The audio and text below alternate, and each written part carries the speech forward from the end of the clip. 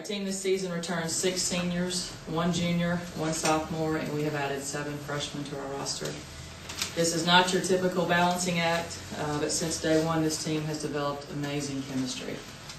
Despite having so many freshmen, all seven, they have all established themselves as contributors on this basketball team.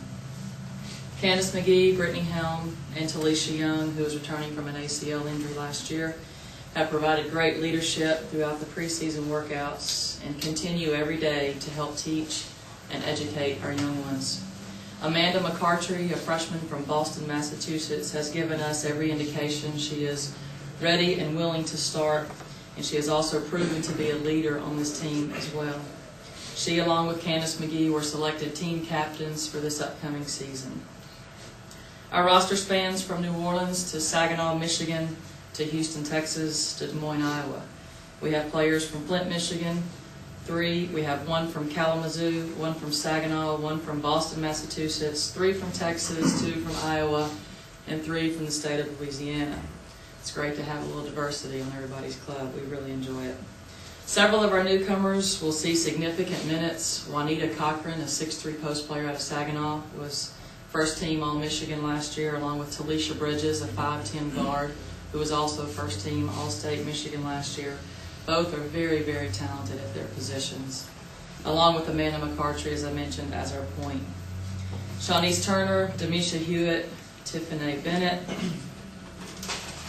will also see significant minutes in the guard positions as well. We are excited about this team, uh, their potential, and where this program is actually going. Uh, on this Friday, November 6th, I personally invite each one of you here to come join us and get a glimpse of the Lady Privateers in action for our blue and silver scrimmage at 12:15. And we'll be providing lunch, and players will be available afterwards uh, for a meet and greet session. Um, Again, I want to reiterate what Rob mentioned. Thank you for being here and helping support uh, and promote UNO basketball. Thank you. Any questions for anyone else at the podium? If, you s- if you were playing a game today, would your starting five be? That's a great question. Obviously, our three seniors that I mentioned early, uh, as far as giving us true leadership, Candace McGee, Brittany Helm, uh, and Talisha Young. Uh, I do want to confirm that Amanda McCartry, the freshman out of Boston, will also be a starter. Uh, That fifth starter at this point will either be Rachel Monroe from Crucier, Iowa, who is also a senior, possibly Talisha Bridges, another freshman from Michigan. Uh, Talisha and Kathy both had their seasons at the last year by injuries. How are they looking so far this season? Talisha looks great. She actually has worked herself back into a starting position. She's moving well. Um, her rebounding, her scoring. It's like she really wasn't out all year long. And for the last couple of weeks, she has really shown her true ability. Um, she's extremely athletic, comes from a great athletic family. Her brother plays for Philadelphia. Uh, just and, and very driven. You know, was really disappointed about last year having to sit out and having to deal with the injury. This year has come back with a whole new attitude and a great approach to her senior season. Kathy Kasabian is still struggling a little bit with this fourth, fourth knee surgery. Um, she has been going through a little bit of practice, but we might actually have her be a team manager this year, possibly a student coach.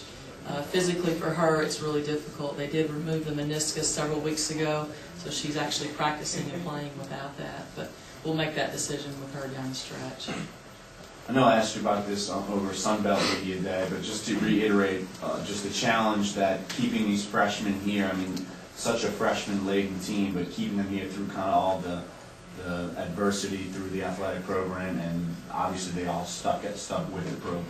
You know, and for them to actually be here, to answer your question, they are pretty special. You know, probably any athlete in their right mind would have considered other opportunities as we struggled as a department, whether we were going to be here or not.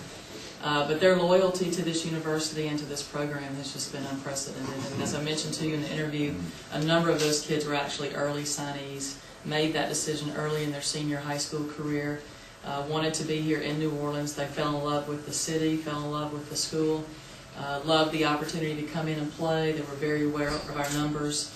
Uh, these are not your typical freshmen uh, that would enter college uh, on a very competitive level in a very competitive conference. These guys are extremely talented, and they, they knew what their opportunity was going into it. And I think that's actually what has kept them here. They understand they have a true opportunity to contribute right away. And again, like I said, they love UNO, and they just love New Orleans. Did you ever find that you felt like you were kind of recruiting them twice through all of, that? You know, actually, the, the timing of my informing them probably was the greatest decision I've ever made.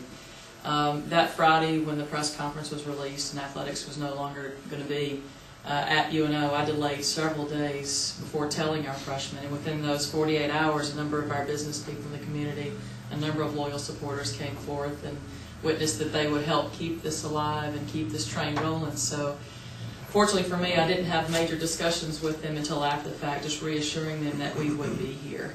Um, They were never given notice from me that we were not going to have this opportunity. So the timing of my conversations with them and the timing of all the things that actually lapsed over that weekend probably worked in my favor. In the meantime, are you kind of panicking? Like, how do I Panicking.